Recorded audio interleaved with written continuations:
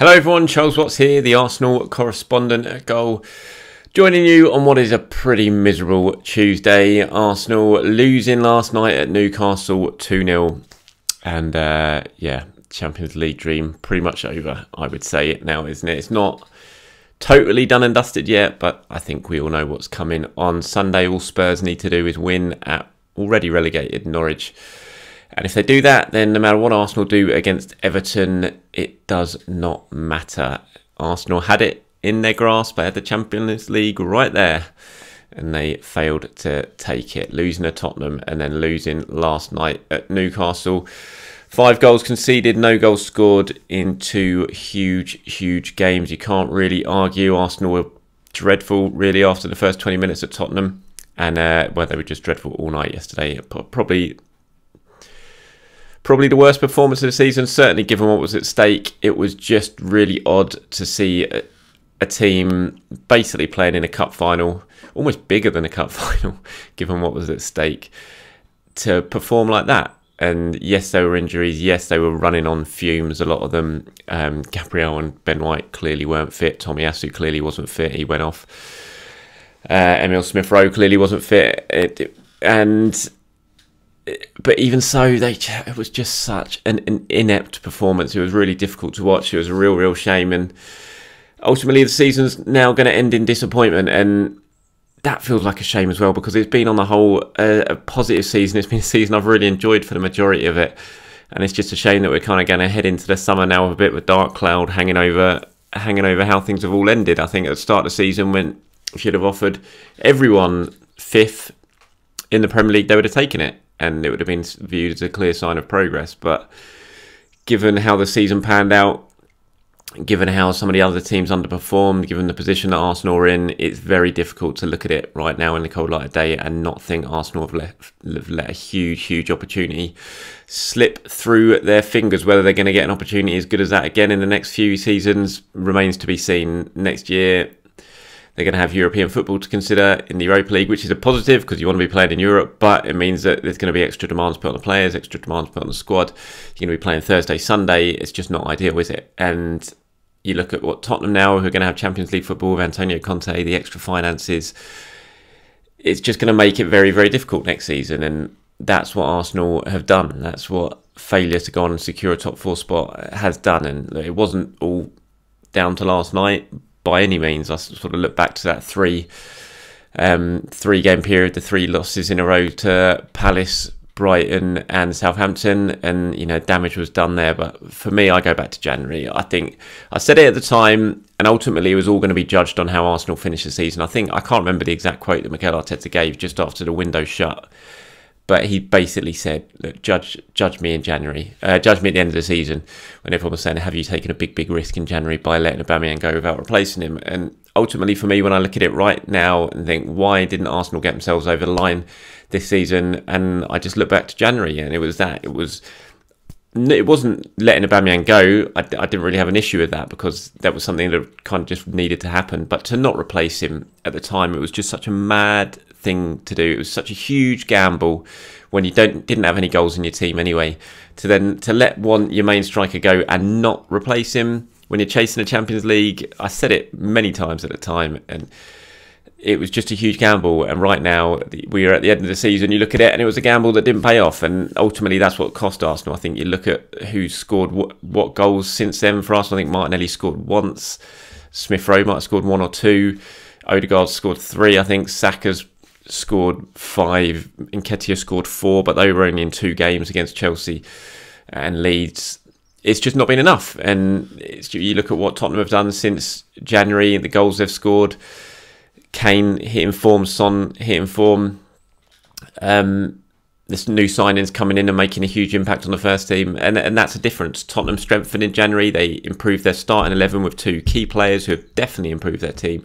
Arsenal, meanwhile, weakened the squad dramatically. Pablo Mari, Callum Chambers, Ainsley Maitland-Niles, players like that, all allowed to leave. Yes, they weren't regular first team starters, but they were still squad members. Arsenal reduced that squad massively, Aubameyang especially and they didn't replace him. And I think ultimately that's what cost Arsenal. You look at where they are now, you look at the injuries they've got, you look at how they've been having to play players through injuries because their squad's not been big enough.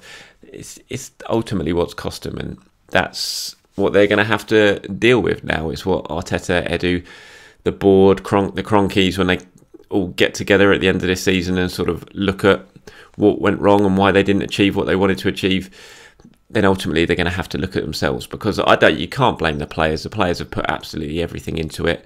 The youngsters were absolutely dead on their feet. We've seen them tail off at the end of the season. That is no big surprise. You know, Saka, you know, uh, Smith Rowe hasn't been fit since January. That's been very blatantly obvious. He's not been able to get through games at all. But he's played on. Saka's been booted left, right, and centre every game he's played. He's continued to play on, but they've run out of steam, and there's no you know, you can't criticise them for that. They're young kids. They've never had this sort of demands on their bodies before. It was always going to happen, and that's why you needed to keep a strong squad. And um, Arsenal didn't do it. They took a risk. They went with a young, inexperienced, small squad, and ultimately, for me, that's what that's what's cost them at the very key stage of the season. It was really, really disappointing. I mean, Mikel speaking after the game last night. Said it's really tough. Normally, I can sit here and I can defend the players, but what we've done today, it's not easy to do that. Newcastle are 100 times better than us in every department from the beginning to the end, and it's hard to accept. But we have to accept it, and that's the reality of what happened. We knew what was at stake, but we couldn't cope with it. We didn't compete. We never got in a game. We put ourselves in trouble time after time. We lost every duel, every aspect of the game we were second best and Newcastle totally deserved to win, probably by a bigger margin. And he's absolutely spot on. None of those words are. Uh, he's not hiding anything. It's clear, but you couldn't hide anything after a performance like that because it was so so poor. He was asked afterwards as well, Mikel. You know, do you regret not signing not signing anyone in January? What you did? He said we we did what we can, and with what we were allowed to do, what we could do and the resources we had from the start of the season. The team that we are able to build is what we were able to build, and it's the team that has taken us all the way here. So, sort of reading between the lines there, he's kind of pointing towards the fact that he he didn't get what he was wanted, what he wanted. I mean, that's interesting. He's got his press conference coming up at the end of this week, probably Friday. I'm sure he's going to get pushed on that a little bit more. Um, in terms of what exactly happened in January and why Arsenal didn't really strengthen by the fact there he's saying he did what they were allowed to do, it seems to suggest that um, uh, that they they used what was available to them. And in January, that kind of makes it clear there was nothing available to them. We all know though that there was this long running move for Vlahovic or suspected move for Vlahovic. Again, at the time, I reported that I wasn't convinced by it because everyone had always told me that I'd spoken to that it probably it wasn't going to happen. It wasn't something that was really really serious, despite what was being reported. But there was clearly interest there. There's no doubt about it. You don't. There was so much noise. There was something going on behind the scenes. Um, you know, and should that, that transfer materialise, then it would cost an awful lot of money. So. You know, if Arsenal were genuinely trying to trying to explore the possibility of bringing him in, even at some point, even at some point in January, then there was clearly some sort of money there, and it's just it's just a real shame. It's just a real shame. I, I have just got this kind of empty feeling in my stomach today because it was it was it was right there. It was it was within touching distance, and to not sort of see get the job done, see it through, is really really disappointing because I think it would have been so massive for the young players. It would have been transformative for the the club um, you know, it had gotten back to where they want to be. It would have allowed a lot them to be a lot more aggressive in this summer's transfer window. It would have been better. It would be a lot easier to keep the players that they now want to keep, like Bukayo Saka. You know, he looked distraught yesterday in his interview. He's only got two years left on his contract. That's something that's going to have to be discussed this summer. If you've got the lure of Champions League football, it just really, really helps with that because even though, yes, he loves the club, yes, he's a Hale End graduate, that emotional tie can only last so long. At some point, you're going to have to show players like Saka who could go to any side and they would want him, believe me.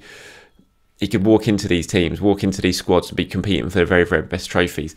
The emotional ties of Arsenal and the Hale End can only last so long. At some point, he's going to want to go on and and achieve what he believes he can achieve. And if he doesn't believe that's going to be at Arsenal, then he's going to end up moving on, and that's going to be really difficult to see. That's why the Champions League was going to be so, so important. It's showing these sort of players, the young players that are there now and potential new recruits, that they can come to Arsenal and achieve what they want to achieve and play at the very top level. And they had such a good chance to go on and achieve that now. And it just feels like it's only going to get harder for them to go on to do it in the following in the next couple of seasons. I know a lot of people have looked at Mikel Arteta's contract and the announcement, the timing of announcement, and felt you know that's you know did they need to do that? The, the fact is he was going to sign a new contract whatever happens. Arsenal were going to finish fifth. He was going to get a new contract. The club weren't going to replace him this summer.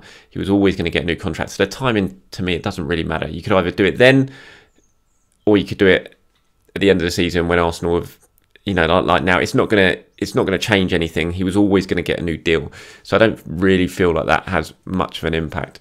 That and I don't I don't buy into the fact that that's had an impact on these last two games of the season. I think what what's impacted Arsenal, what's really sort of hurt him in these closing stages, was the injuries, was the threadbare squad, was playing players who are clearly not fit to try and get a job done, and missing key players. You know, Partey and Tierney. It was just a huge, huge miss to lose two players like that for the season at such a crucial stage of the season. And then to have the injuries at, at, in defence to the key players again was just massive. You know, if Arsenal would have managed to be able to keep that back four fit for the remainder of the season, Tierney, White, Gabriel, and um, Tomiyasu and had Partey in front of him. I'm utterly convinced at this point we'd have had Champions League football secured. But it's a big if, and it's all ifs and maybes. And you know, the fact is they haven't Tottenham have done it.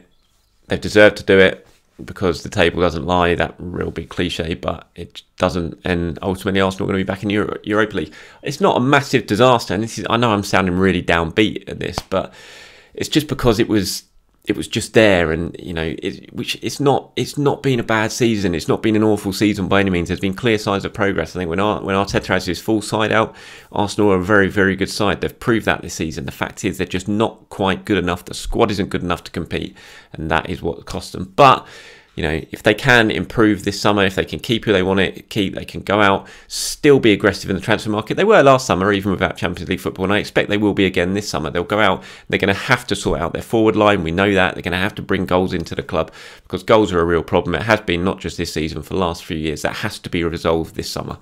You know, the last few windows have been spent looking at midfield, looking at defence. This is the summer when Arsenal have to sort their attack out. They have to get goals in the team because they can't keep doing what they're doing and expect to compete at the very top because they just don't score enough goals. So that's going to be key. Granit Xhaka obviously came out in that interview yesterday. I'm sure you've seen it. It's caused a lot of uh, controversy is the right word. I mean, Gary Neville's responded. Obviously, we saw that as well. But these what Xhaka had to say when he was asked about the performance. He said, I can't explain to you why we didn't do what the game plan was. We didn't listen to the coach. What happened was a disaster. You don't deserve to play Champions League or even Europa League. It's very hard to take it at the moment. I don't know why we doing what why we didn't do what the coach asked of us. We were, we've been waiting six years. We had everything in our hands. We looked like we are in the position where Newcastle are, and they were where we are. He then asked if inexperience was the issue at this stage of the season. He said, if someone isn't ready for this game, stay at home. It doesn't matter your age. If you're nervous, stay on the bench or stay at home. You need people to have the balls to come here and play. It's the most important game for us. We're feeling very disappointed for the people who came over. Sorry to the fans. I don't have any other words. Now that has caused a lot of debate. Those comments. I mean, Neville waded in straight away. I think he called Xhaka a disgrace or said he's been a disgrace. I hope he hasn't. He's not been. I hope he's not singling out the young players there. And I don't think Xhaka was at all. I think he completely includes himself in this. He's that's the kind of type of player he is. And I'm not going to sit here and have a go at Granit Xhaka for coming out and talking like that because most players come out and just talk a load of rubbish in interviews. Xhaka, when he actually gives an interview, he's very, very honest. And he was again last night. But I don't think he's putting blame on anyone else and pointing the finger elsewhere. I think he's fully including himself in this blame. And and he's right. When you look at what he had to say, he's absolutely right. You, Arsenal don't deserve to be in the Champions League on that performance. If you're gonna, if you basically go into a match where it's all at stake and you deliver a performance like that, then you don't deserve it. And that's what he's saying. So I'm not sure Neville really needed to suddenly jump on his back and brand him a disgrace uh, uh, and all that because. I don't think he's pointing the finger at anyone there. I think he's blaming himself as much as blaming everyone else. He just fully admits that on the day when the big moment arrived, Arsenal weren't good enough. And and that's just the kind the, the type of get, uh, bloke he is and the type of guy he is when he speaks in front of the media. So I'm not going to sit here right now and have a go at Granit Xhaka and sort of pile on like a lot of people are doing because I didn't really have any issues with what he had to say. Um, Arteta's presser, as I said, is probably going to be on Friday this week ahead of the game against Everton. Obviously, there is still one game to go. It kind of feels like the season's finished now, isn't it? But you kind of forget there is still one game to go, and you never, you never know. Norwich might go and beat Tottenham, and all this moaning, all this whining, all this miserable thoughts and feelings we've got this morning might be totally gone by next Monday. We might be celebrating Arsenal returning to the Champions League. I think we all know that's not going to happen, but hey, it's football. Stranger things have happened. Um, I remember not too long ago when Spurs went to Newcastle on the final day, already relegated Newcastle, and they got spanked 5 1, and Arsenal um, beat Burnley or beat someone on that final day and ended up finishing second ahead of Tottenham. So crazy things happen in football, and Arsenal just got to make sure that they can somehow bounce back and beat Everton on Sunday and then hope Norwich doing them a favour. It's a very tiny, tiny possibility, but it is a possibility. So Arsenal need to sort of stay professional now and try and get the job done on Sunday just in case uh, Spurs have a uh, bit of a mishap at Carrow Road. Doesn't look like Tomiyasu is going to play. He got injured last night. Obviously, um, real recurring theme with Tomiyasu, which has been a bit of a worry the second half of the season. He was so so good when he arrived, but these injuries are just piling up every time he comes back. He seems to pick up another one. not sure exactly what it is yet, but it looked like he was feeling his hamstring, and so. Um, he Mikel Arteta said afterwards it's a muscular one, and Arsenal We'll have to assess it over the coming days. But I can't imagine Tomiyasu is going to be fit for that one. Whether Arsenal risk Gabriel and Ben White, I mean they did come through yesterday's game, but they clearly weren't fit. Smith Rowe limped off as well, so I imagine Martinelli will be starting that game against uh, Burnley as well. And the form Smith Rowe shown recently, I wouldn't, you know, I don't think anyone's going to complain about that too much.